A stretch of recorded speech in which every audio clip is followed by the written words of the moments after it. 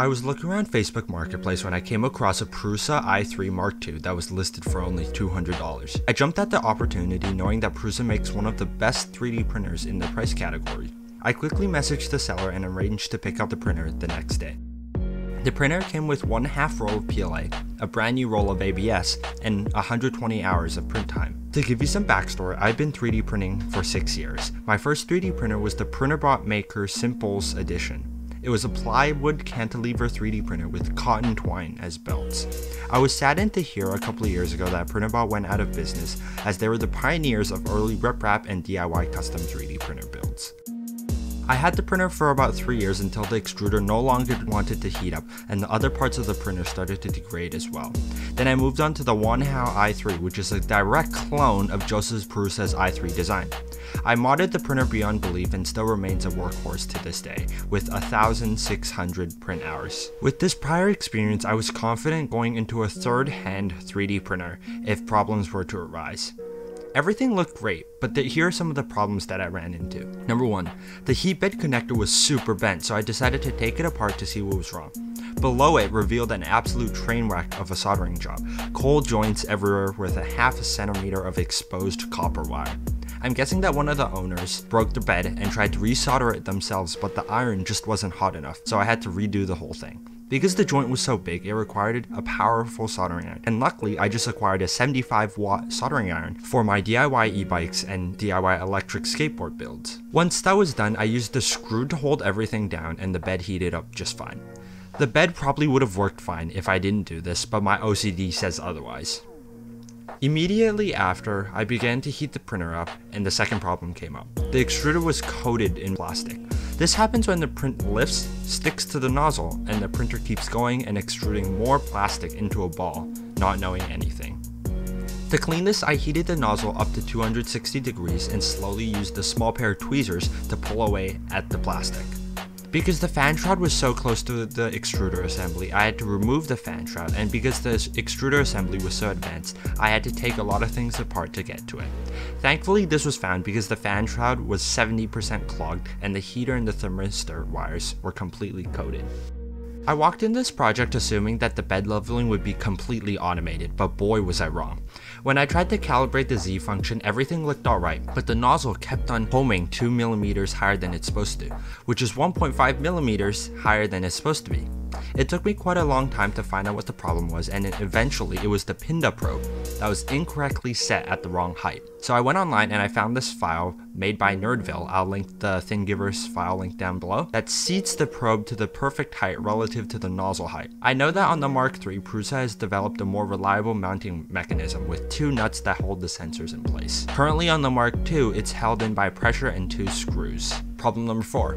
This printer is super intelligent, equipped with sensors that compensate for bed leveling removing the need to level the bed completely. Now with that being said, the added complexity comes at a cost when the system malfunctions. When I ran the XYZ calibration, the printer would return an error saying that the XY sensor calibration was compromised. This ended up being the Pinda probe not being able to locate the calibration points on the bed. At first I thought the probe was malfunctioning, because the probe seemed to line up with the circles, but if the probe didn't work, how does the printer know where to home the z-axis and not drive itself into the bed? So that idea was quickly passed on. Then I moved to the theory that the chassis was off square, so I checked it with the square and everything seems fine. Then lastly, I resorted to Reddit, and apparently it was a common problem where the y-axis gantry nuts are 2 to 4 millimeters too short, so even though the sensor looks like it lines up, it doesn't actually. This resulted in me having to adjust 4 nuts 4 times before it finally worked. This process took around 4 hours to find the error and to fix, and would have taken 2 minutes with bed screws.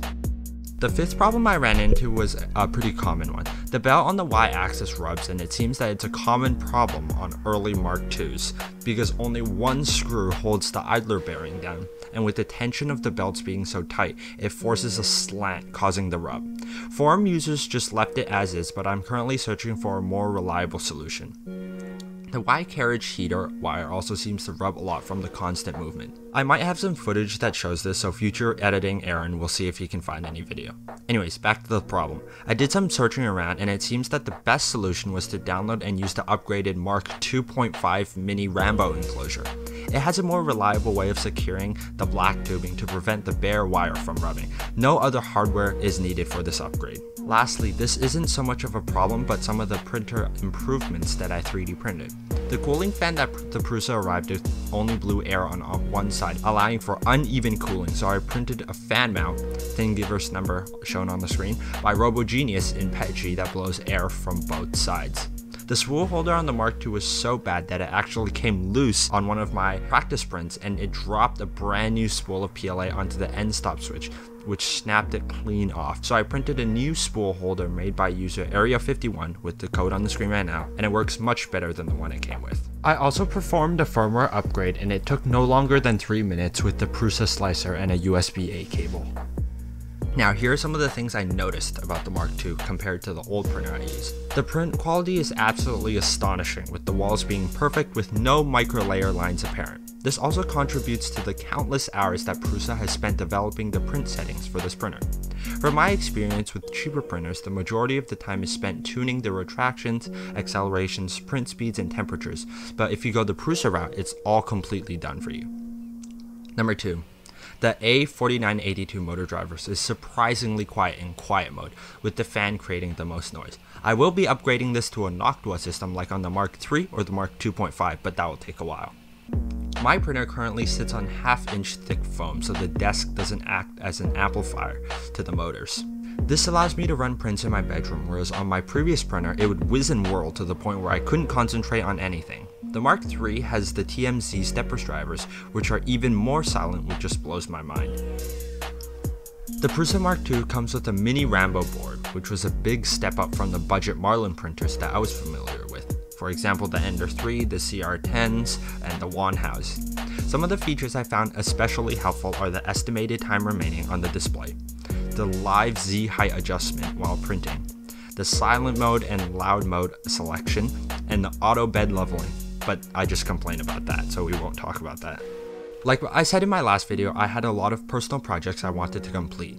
One of the projects was to finally decorate my bedroom walls. I've left them blank for two years waiting for the best idea and the opportunity to finally come. And finally, this summer, I decided to scale up the SpaceX logo, then 3D print them, making the perfect opportunity to test the Prusa. This was how it turned out.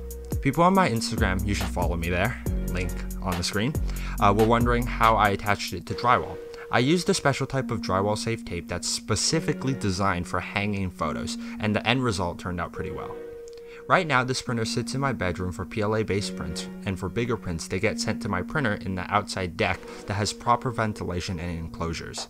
I'm super satisfied with how the print performed, and it turned out to be a fun week long project, and with the bigger build plate, I can fit more models at once compared to my previous printer. If you like this kind of stuff and other stuff like DIY electric bikes, DIY electric skateboards, FPV race drones, you should hit the subscribe button and like the video for my YouTube algorithm. I'll catch you all on my next video. Bye bye.